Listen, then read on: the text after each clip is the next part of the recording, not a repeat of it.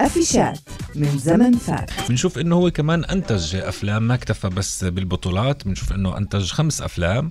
عاشور آه، قلب الأسد سر الغائب طريق الشيطان. آه، هذا كان في الستينات ونار الشوق وكانت أيام اللي غنت له في هالفيلم صباح يا نيانس بالضبط. وكمان نقدر نقول كمان ألف بعض بالفعل. الأفلام مثل ملك وشيطان 1960 أول بطولة لنجوى فؤاد. وسر الغائب وطريق الشيطان وعاشور قلب الأسد. كل هالأفلام هاي من تأليفه.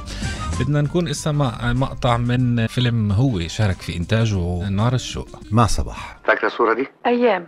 فاكرة قد إيه حبيتك؟ وقد إيه لغاية دلوقتي بحبك؟